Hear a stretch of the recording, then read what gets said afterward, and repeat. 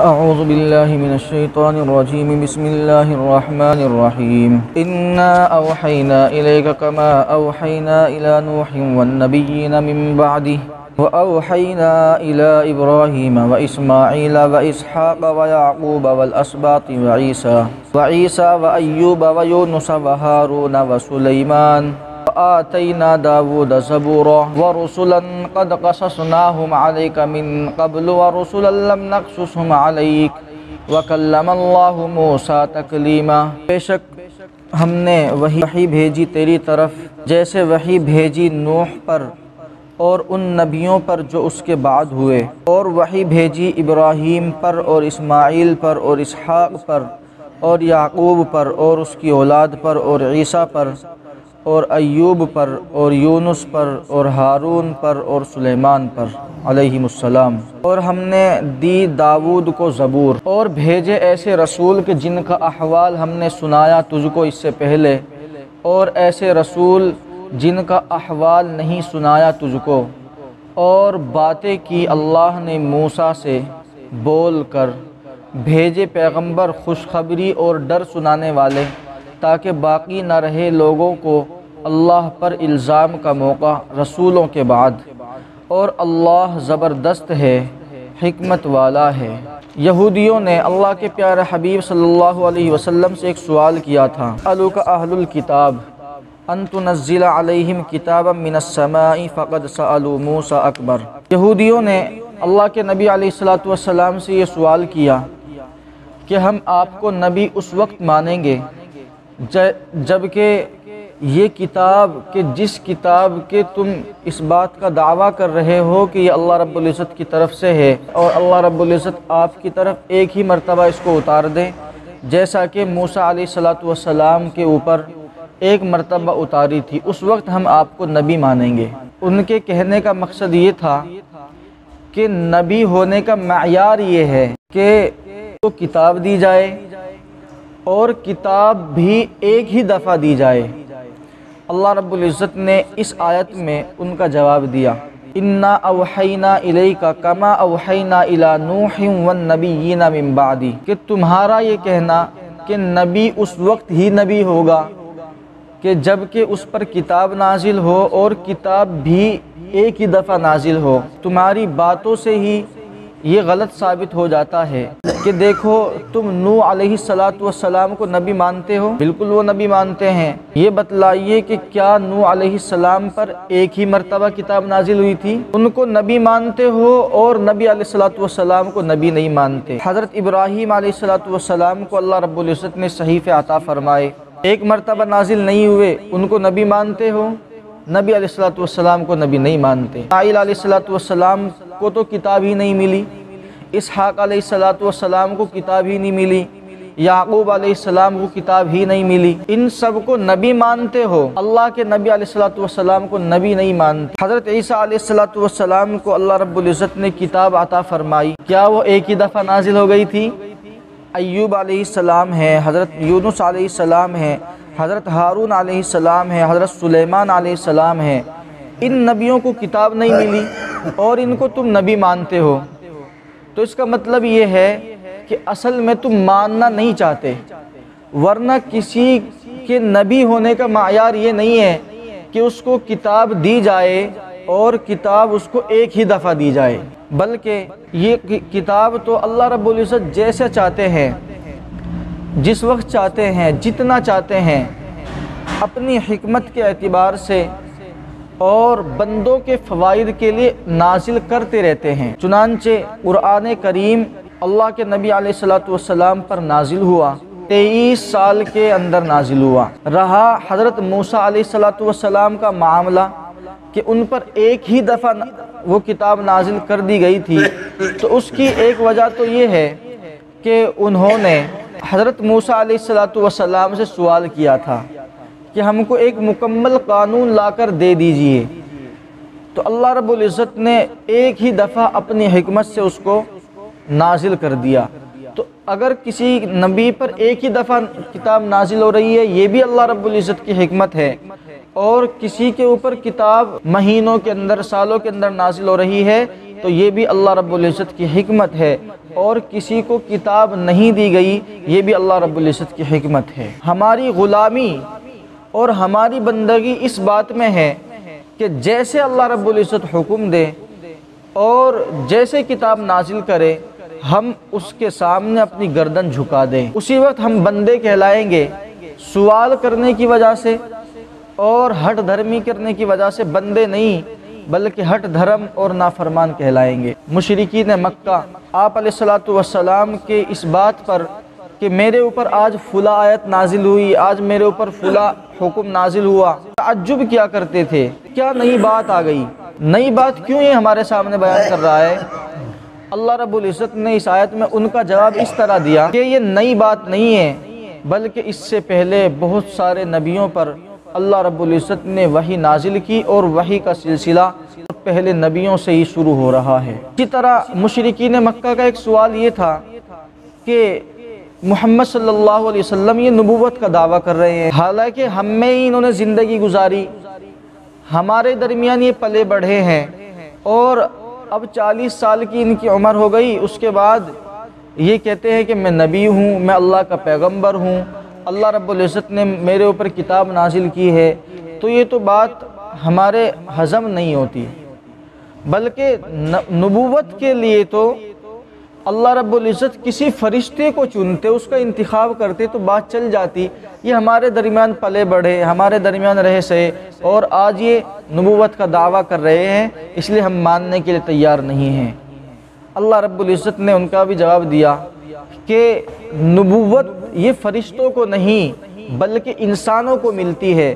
حضرت نو علیہ السلام حضرت ابراہیم علیہ السلام، حضرت اسماعیل علیہ السلام، حضرت اسحاق علیہ السلام، یہ سب کے سب اللہ رب العزت کے بھیجے ہوئے نبی، پیغمبر اور برحق رسول تھے اور انسان بھی تھے۔ تو نبوت کے لیے فرشتوں کا ہونا ضروری نہیں، بلکہ اللہ رب العزت نے انسانوں کو ہی اپنا نبی اور پیغمبر اور رسول بنا کر بھیجا۔ اس لیے نہ یہ بات نہیں ہے اور نہ یہ بات ایسی ہے کہ اس کے اوپر تعجب کا اظہار کیا جائے، بلکہ یہ پہلے سے چلتی ہوئی آئی ہے۔ تمہاری کامیابی اسی میں ہے کہ ہم سب اللہ کے نبی علیہ السلام کو اللہ کا نبی اور پیغمبر جان لے۔ اللہ رب العزت نے اس آیت میں اللہ کے نبی علیہ السلام کی وحی کو تشبیح دی۔ حضرت نو علیہ السلام کی وحی سے۔ حالانکہ حضرت نو علیہ السلام سے تو پہلے پیغمبر حضرت آدم علیہ السلام آئے تھے۔ تو اس کی وجہ علماء نے یہ لکھی ہے کہ حضرت آدم علیہ السلام کے اوپر اللہ رب العزت نے وحی نازل کی۔ لیکن اس وقت وحی کا سلسلہ ابتدائی مرحلے میں تھا اور یہ سلسلہ مکمل نہیں ہوا تھا ابھی۔ اسی لیے حضرت آدم علیہ السلام کے زمانے میں یعنی نو اور آدم علیہ السلام کے درمیان کا جو عرصہ ہے، ان کے درمیان اگر انسان اللہ کی نافرمانی کیا کرتے، تو ان کے اوپر عذاب نہیں آتا تھا، لیکن اس کا مرحلہ بھی تکمیل کو نہیں پہنچا تھا۔ اللہ رب العزت نے حضرت نو علیہ السلام کو نبی بنا کر بھیجا اور یہ سبق مکمل ہو گیا۔ اللہ رب العزت کے احکام انسانوں کے سامنے کھل کر واضح طور پر آ گئے۔ تو اب ان کا انکار کرنے والوں کو اللہ رب العزت نے سزا دی۔ اور اس کے بعد جتنے بھی پیغمبر آئے جنہوں نے انکار کیا، اللہ رب العزت نے ان کو سزائے دی۔ کہ حضرت نو علیہ السلام کی نبوت کے بعد انسان اللہ رب العزت کے عذاب کے مستحق کہلائے۔ اس لیے کہ یہ وحی کا سلسلہ ایک تکمیل کو پہنچ چکا تھا۔ اور ان کے اوپر اللہ رب العزت کے عذابات آئے۔ اسی طرح اگر اللہ کے نبی علیہ السلام کی وحی کے بعد، آپ علیہ السلام کے اوپر شریعت کے نزول کے بعد اگر کوئی ان کی باتوں کا انکار کرے گا اور ان کی باتوں کو جھٹلائے گا، جیسے نو علیہ السلام کی باتوں کے انکار کرنے کی وجہ سے ان کی قوم پر عذاب آیا تھا اسی طرح ان کے اوپر بھی اللہ رب العزت کا عذاب مسلط ہوگا۔ اس لیے اللہ رب العزت نے اللہ کے نبی علیہ السلام کی وحی کو حضرت نو علیہ السلام سے تشبیح دی۔ تو اے مشرقین مکہ، تم اگر اللہ کے نبی علیہ السلام کی بات کا انکار کر رہے ہو تو اللہ رب العزت کے عذاب کو مول لے رہے ہو۔ اگر اللہ رب العزت کے عذاب سے بچنا ہے، ان کی نبوت کو ماننا پڑے گا۔ اللہ رب العزت نے اس آیت میں گیارہ نبیوں کا تذکرہ کیا۔ حضرت نو علیہ السلاۃ والسلام اور حضرت ابراہیم علیہ السلاۃ والسلام، حضرت اسماعیل علیہ السلام، حضرت اسحاق علیہ السلام اور حضرت یعقوب علیہ السلام، حضرت عیسیٰ علیہ السلام اور حضرت ایوب علیہ السلام، حضرت یونس علیہ السلام، حضرت ہارون علیہ السلام حضرت سلیمان علیہ السلام، حضرت داؤد علیہ السلام۔ اس کے علاوہ اور بہت سی آیتیں ہیں کہ جن آیتوں میں اللہ رب العزت نے نبیوں کے ناموں کا تذکرہ کیا اور ان کا نام لیا۔ چنانچہ صورت الانعام کے اندر اللہ رب العزت نے حضرت یوسف علیہ السلام کا تذکرہ کیا، حضرت زکریہ علیہ السلام کا تذکرہ کیا، حضرت یحییٰ علیہ السلام کا تذکرہ کیا، حضرت الیاس علیہ السلام کا تذکرہ کیا، حضرت الیسا علیہ السلام کا تذکرہ کیا۔ حضرت لوت علیہ السلام کا تذکرہ کیا۔ چھ نبی ایسے تھے کہ جن کا تذکرہ اللہ رب العزت نے سورة الانعام کے اندر کیا۔ کل تعداد کتنی ہو گئی؟ سترہ ہو گئی۔ اور حضرت ادریس علیہ السلام کا تذکرہ اللہ رب العزت نے سورہ مریم اور سورة الانبیاء کے اندر کیا۔ تعداد کتنی ہو گئی؟ گنتے رہیں۔ حضرت ذوالکفل کا تذکرہ اللہ رب العزت نے سورة الانبیاء اور سورہ مریم کے اندر کیا۔ حضرت حود علیہ السلام کا تذکرہ بھی اللہ رب العزت نے کئی صورتوں کے اندر کیا۔ سورة العراف ہے، سورة الحود ہے اور سورہ شعراء ہے۔ حضرت صالح علیہ السلام کا تذکرہ بھی اللہ رب العزت نے سورہ شعراء کے اندر کیا۔ تعداد بیس ہو گئی۔ حضرت شعیب علیہ السلام کا تذکرہ بھی اللہ رب العزت نے سورہ شعراء کے اندر کیا۔ اکیس اور حضرت موسیٰ علیہ السلام کا تذکرہ قرآن کریم میں کئی جگہ آیا ہے۔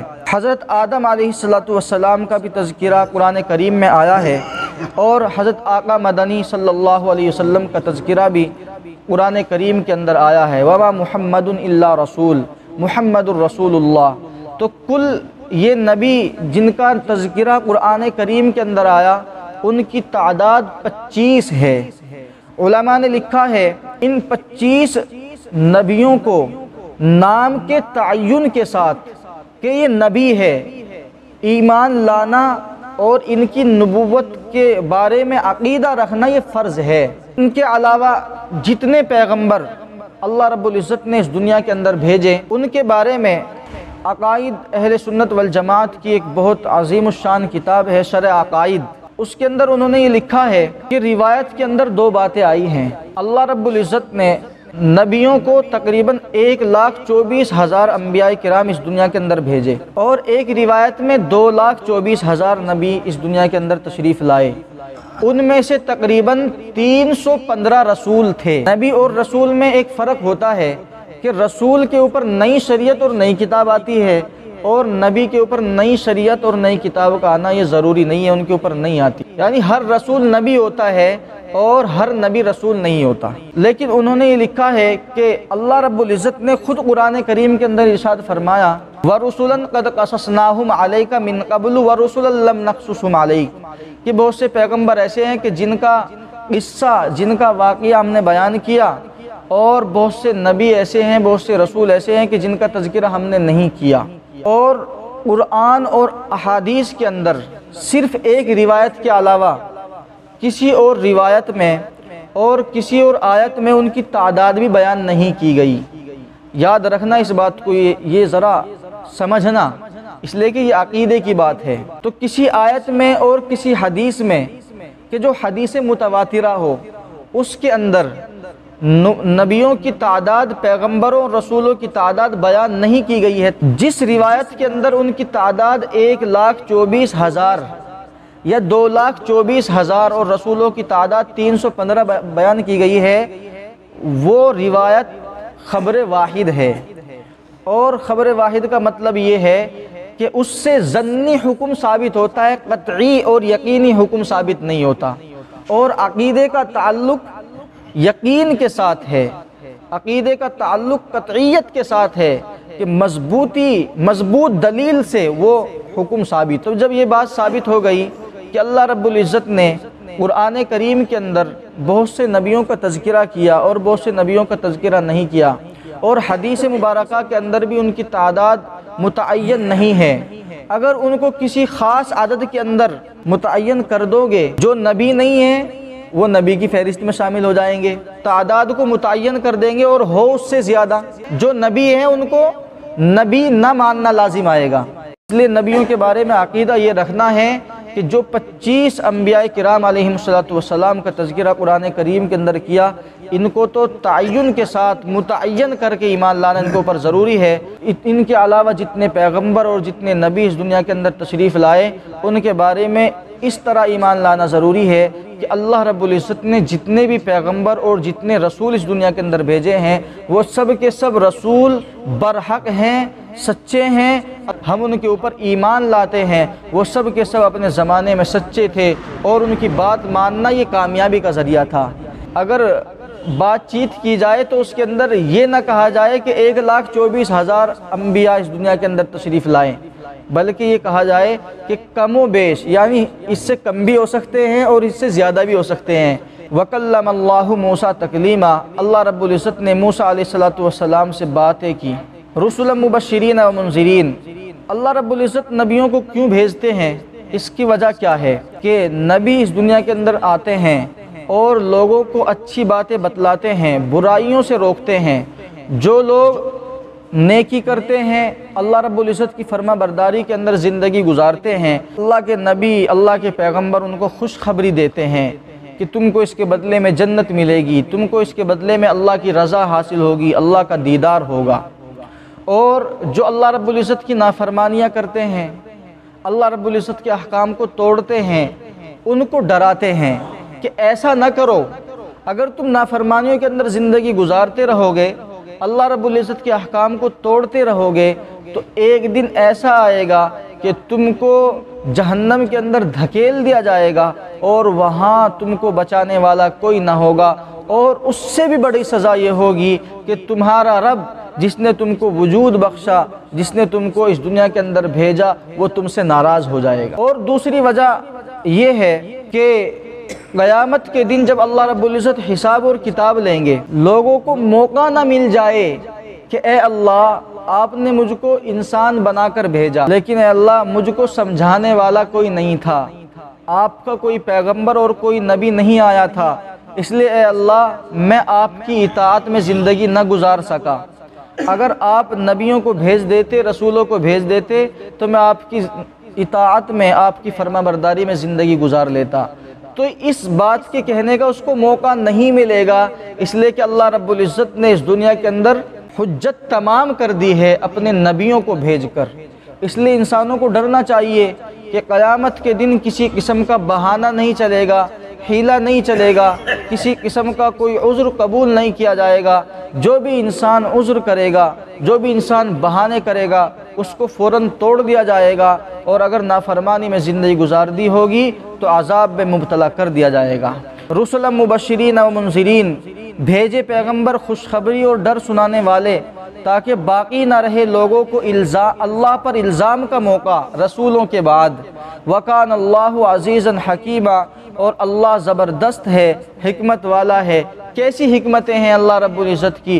کیسی تدبیریں ہیں؟ لیکن اللہ یشہد بما انزل الیک، انزلہ بعلمی جب اللہ کے نبی علیہ السلام کے اوپر یہ آیت نازل ہوئی، تو مشرقین مکہ نے کہا کہ ہم آپ کی اب بھی گواہی نہیں دیتے، ہم آپ کو اب بھی پیغمبر نہیں مانتے۔ اور ایک روایت میں حضرت عبداللہ ابن عباس رضی اللہ عنہ نے بیان کیا کہ یہودیوں کی ایک جماعت، آپ علیہ السلام کے، اللہ کے نبی علیہ السلام نے ان کو سمجھایا اور کہا کہ تم مجھ کو نبی مان لو۔ تو انہوں نے کہا کہ ہم آپ کی نبوت کی گواہی نہیں دیتے۔